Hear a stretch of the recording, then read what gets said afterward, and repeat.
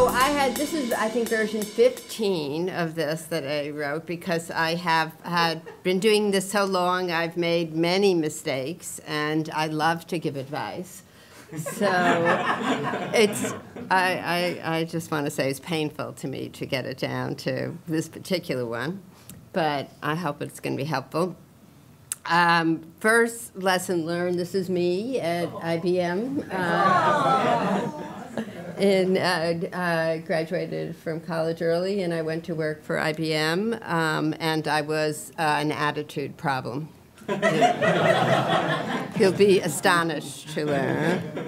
Uh, and when they wanted me to quit, uh, when they wanted me to, no, they wanted me to stay. I quit because I used to sneak off to the bathroom to read English novels and, uh, but I liked the programming, but I also liked doing crosswords. I liked I liked um, uh, geometry in high school. It just wasn't the meaning of life. So why should I be doing this? And um, uh, and uh, but when they wanted me to stay, they said, "Well, look, you could do humanities at IBM because we've just started this thing." And somebody had written an article about counting words in Tolstoy. and this is an actual quote I've remembered after all these years uh, that this was man's greatest output. So by the time I finished responding to that, they said, well, probably you should never be hired by IBM again. Uh, uh, but this was part of what became a productive approach, and eventually the TEI was just looking at, at, at text computationally, but uh, didn't interest me. So I went to uh, Harvard and I, I made them give me a special, uh, for then, uh, new concentration in narrative. Uh, and it was the beginning of the women's movement. I taught some of the first women's studies courses, first at Harvard, and then before I got my degree, even at MIT. Uh, and what I was interested in was what was left out of the English novel. Uh, so how come George Eliot was having sex but not talking about it? Okay. And how, why, how come their lives were so much more complicated? So what was it about the form of the novel that didn't stretch itself to what I really want to know about people's lives, and how did the novel change in order to express different outcomes?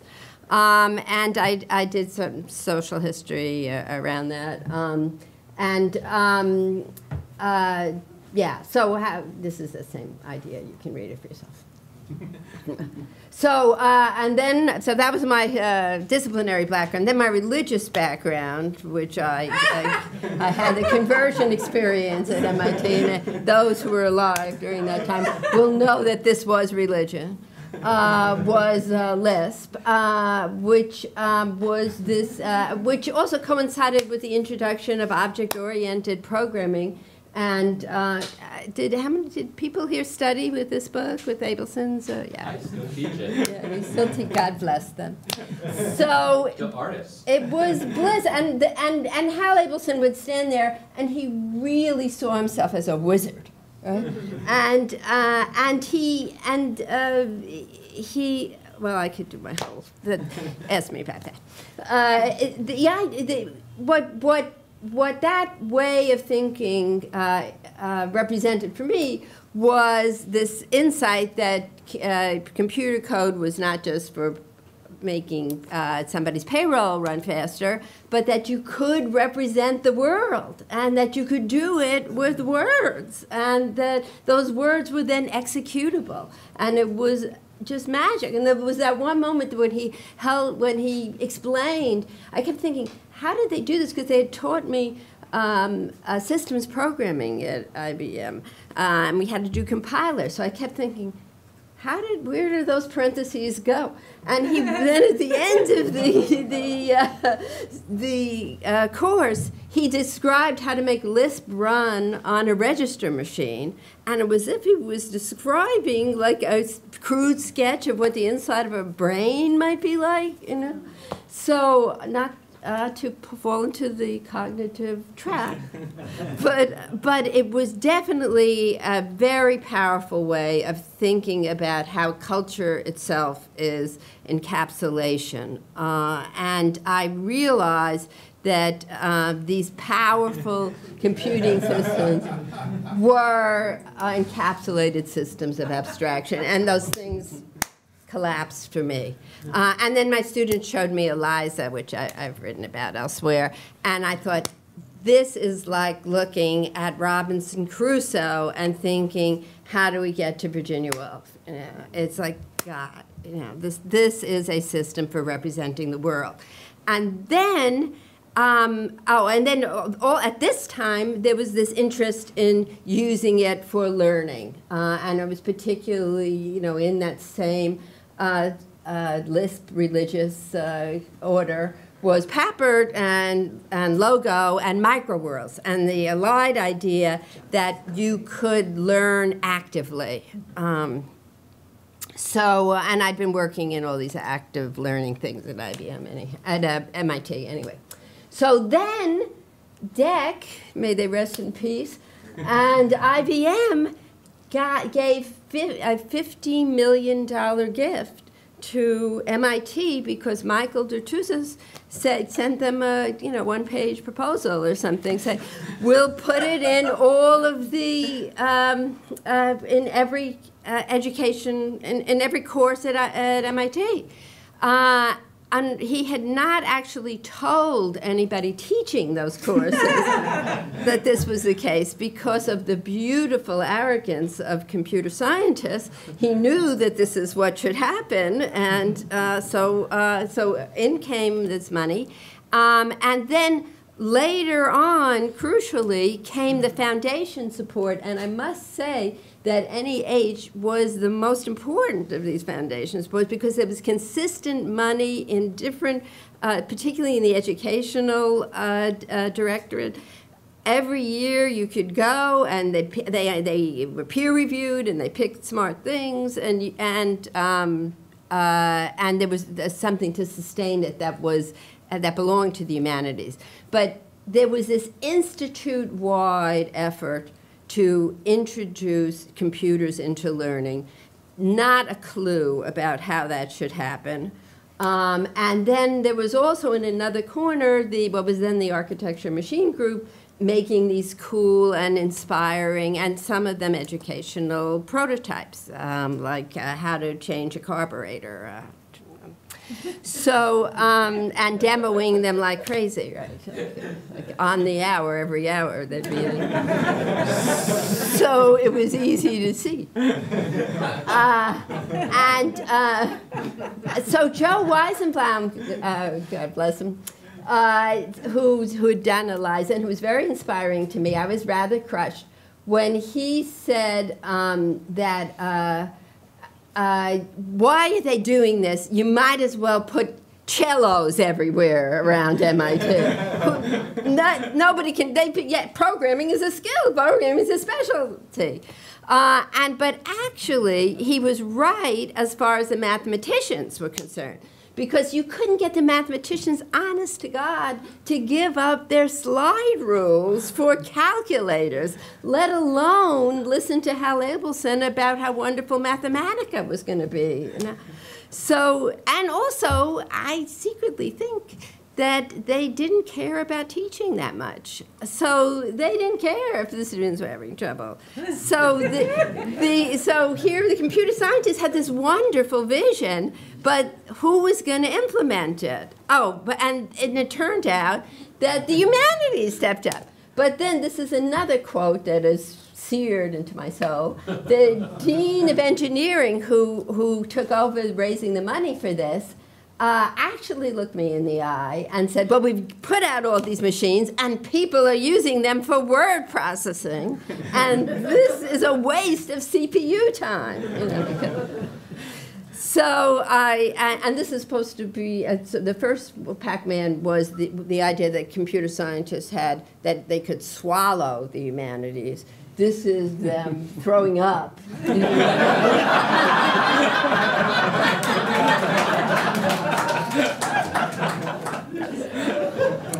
but uh, but I will say that an institute of, of, of engineering is a wonderful place because even though there are these disciplinary divisions, there's a laboratory culture. There's a sense I always used to think of the Mickey Rooney, Judy Garland movies. Hey, let's put on a show. So you go to them, you say, let's make a project. They say, great. What do you want to make? Who's going to use it? You know, they, so. Uh, okay. Um, so, uh, so I refused that lesson. That you know, what are we doing with these cellos? And and so and um, and as it turned out, the humanities create had the got the most money, the fastest, and more than that, had one of the largest and most computationally ambitious projects. It was around uh, language learning. And we were doing, and we got uh, the leading, uh, Bob Berwick was the leading uh, person in uh, natural language processing from the AI lab work with us, Chomsky students whom he wouldn't fund because he didn't want to take money from the federal government because it might impinge on his politics, so his students were completely without funding, all work for us.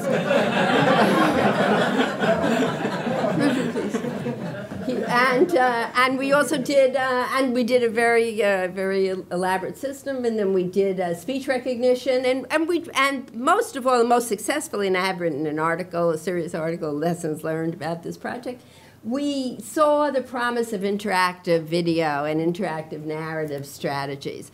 And that was uh, completely beyond what they gave the, the computers and the money for. They did not expect interactive video. They didn't want to hear about it because you couldn't do it on a, uh, the IBM machines. You couldn't, uh, DEC disappeared pretty soon. You, uh, uh, but our project had a reality to it and then it had funding behind it and therefore the university confronted uh, interactive video. So we, we, uh, we pushed it out of the media lab where it was these you know, spaceship uh, models that worked uh, while uh, the right person was in the room into trying to make something that would work on a shorter horizon for particular users. Um, um, and, uh, and then we were part of the whole uh, flowering of humanities computing in the, in the 80s and 90s that uh, uh, pioneered these different genres. Um, and I won't go through all of the projects, but I, I flash forward to a project that I did at Georgia Tech. Again, with um, uh, NEH funding. And um, because, and I think this is just a good reference point. It's a very short sure. video. Um, this is 2006, and uh, we had the American Film Institute and Warner Brothers, which took years of lawyers, needless to say, hired by the American, or pro bono for the American Film Institute. And, and I, I um, um, so we took Casablanca, the jewel of Warner Brothers. We had outtakes from it.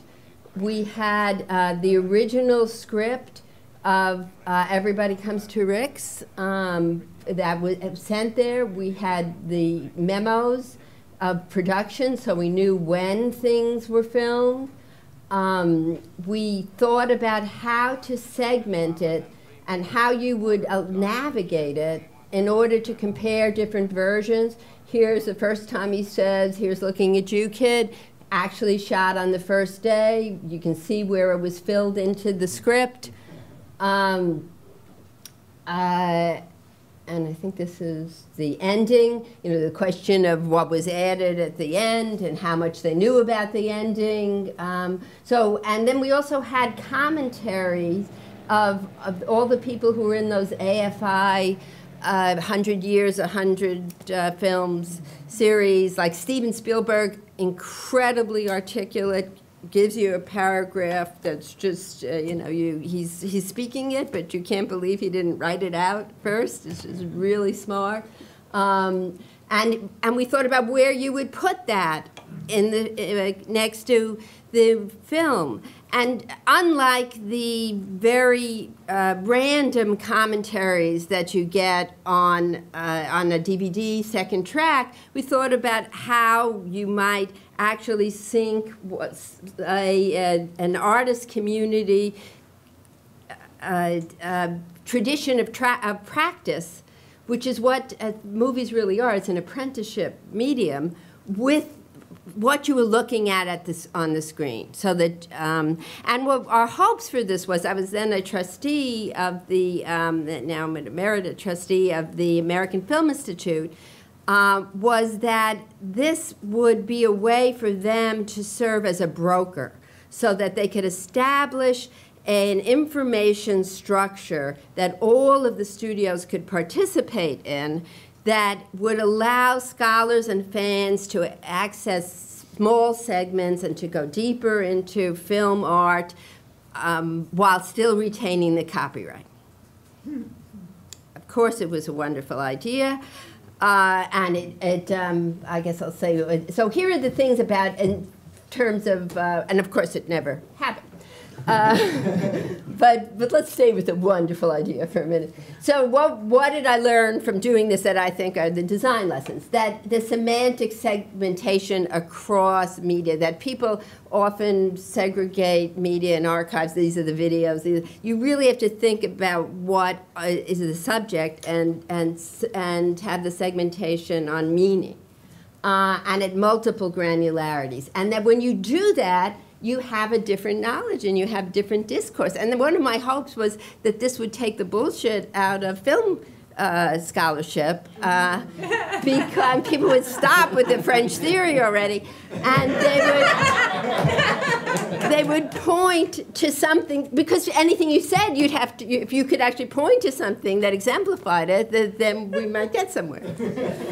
So um, uh, and and the other thing that I learned from this and from other projects is that you have to think not about um, remediating the yeah, like we did another project with Henry Jenkins that was a film textbook. You don't try to do a textbook. You think about what is the core activity. You don't try to do a Shakespeare variorum and reproduce the text. You try to say we honor the scholarship and then let it grow into the affordances of digital media. That I think that's the most important design insight that nobody that, that is too rarely applied, not just in in, uh, in uh, scholarly research work, but also in applications and commercial applications that people just keep remediating. Um, okay, so why uh, didn't it work? So uh, why, it's still on why it was a good idea. So the industry also wanted to solve this problem, and they, they still have this problem, and they're going to get pirated on it, which is that people will want the excerpts, and people want to del delve into the movie. This is part of our cultural heritage. We should be able to quote it the same way we do a literary text. Um, and to them, this was uh, this, the problem it was uh, framed as unlocking, meaning how do we make money from movie assets. So we own these things and we're, we're not selling them. How you know, that's no good.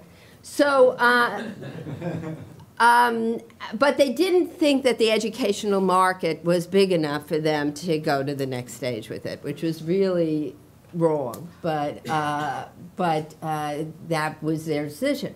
Um, and right now, they are looking at doing this as an ebook, which is, of course, an, a, an idiotic idea because it is about the film.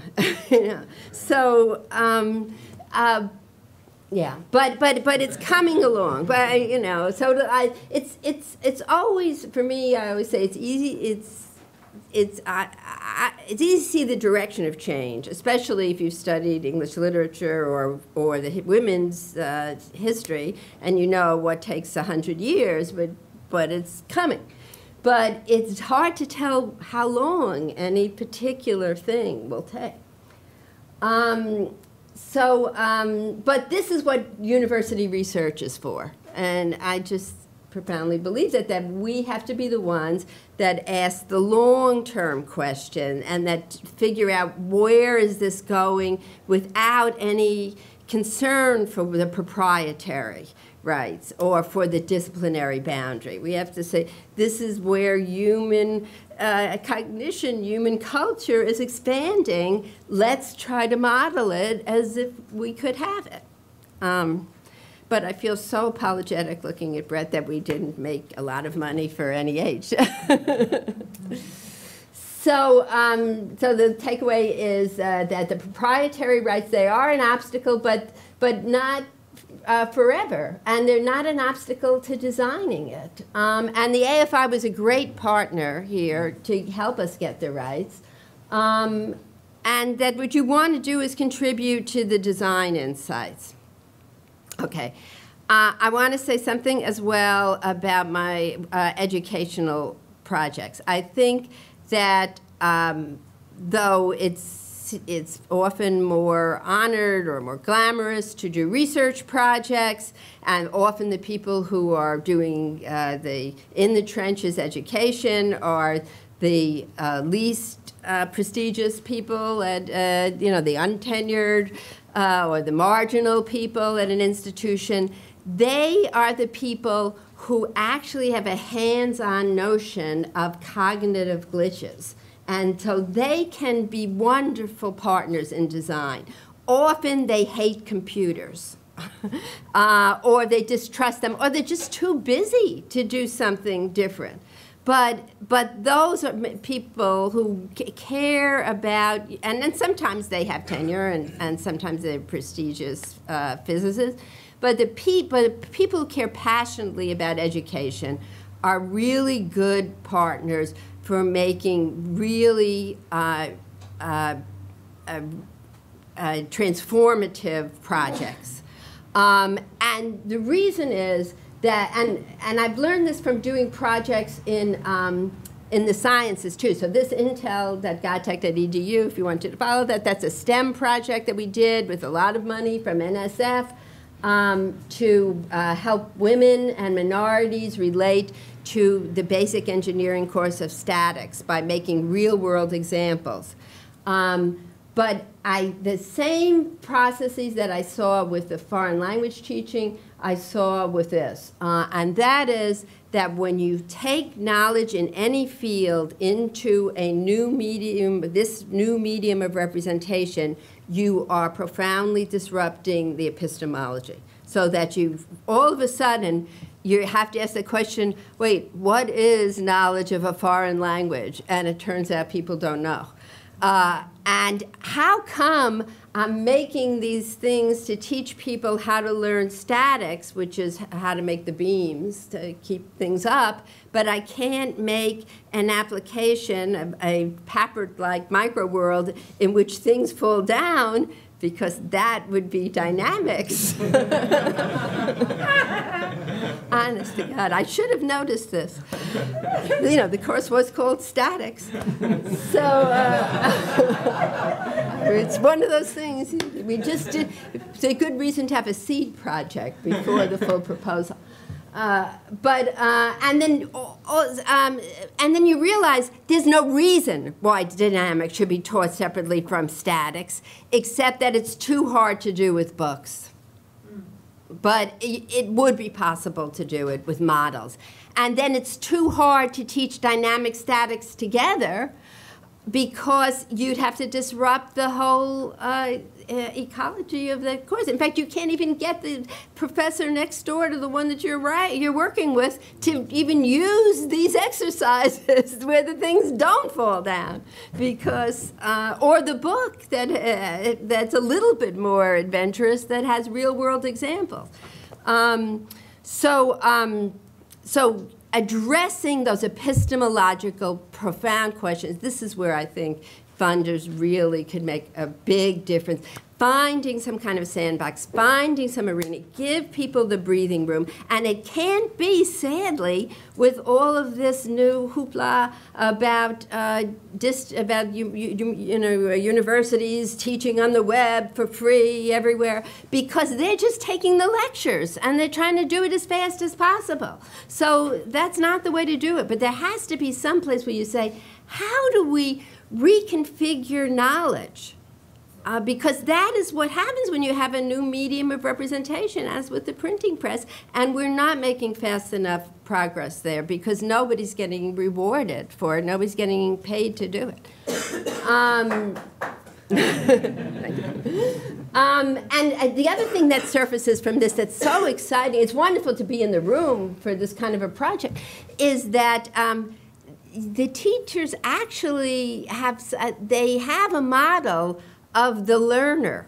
So they know that to be a language learner, for instance, you have to ignore the word, you have to listen intermittently. A successful learner does that.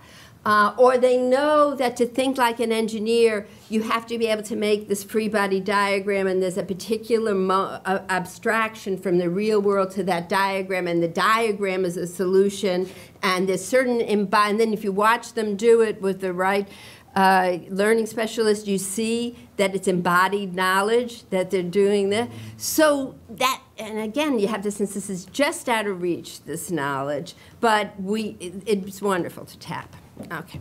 So what's opposing this? Well, one thing is the robot of death. Uh, um, um, there's another lesson refused. So every so often there is a book, usually negative, that says video games will bring an end to thinking, or Google will bring an end to this particular distractible writer's concentration, or, you know. Give me a break. I mean, this clearly is a medium that's making us smarter. And, uh, um, or even then there's this uh, kind of ideological celebration. If we only have the right level of confusion, uh, then we will have undermined the hegemony of the book, and, which is really not worth doing. So, so both of those senses that you just sort of throw a computer uh, uh, that, that, the, that the medium is intrinsically bad or, uh, or good is real, are really wrongheaded. Uh, and um, one of the points that I made in my book, Hamlet on the Holodeck, which I, I won't go through all of the lessons there, though I wish I had made one of those maps. That would have been fun. uh, is that there is no moral hierarchy of media. Um, but that a new medium has specific affordances that we can maximize. And in particular, it can support more complex storytelling. I mean, that's the thing that, that drew me into it. That's why I wanted to work with the language uh, teachers because they had these simulations that were narrative. And I began teaching interactive narrative, a course that Nick took and now teaches. and um, uh, I'm okay. I'm way out of time. I'll be done.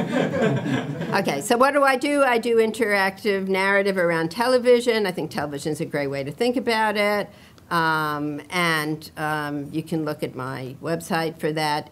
They're summarizing. There are these obstacles to remaking knowledge. Um, and I think that the way to overcome them is to focus on genre. Um, and, I, and I won't repeat what you can see there. Um, uh, and I, uh, all of this uh, is in my book, uh, and you could teach courses with it. That I'm, what I'm hoping is that people would teach courses out of the humanities to teach design. Uh, because we need to draw on that notion that it's genre making, and it's genre making that, that co evolves the technological development. Okay. Um, and here are the opportunities, my last slide.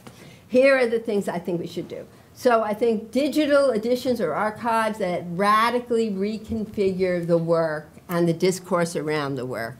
That people are continuing to do these things, but they're not doing them with that, uh, with pushing that envelope. Um, and then narrative systems, which I know other people are, are really invested in and have a lot to say about too, and I'm eager to shut up so other people can talk about it. Oh, and send me your graduate students.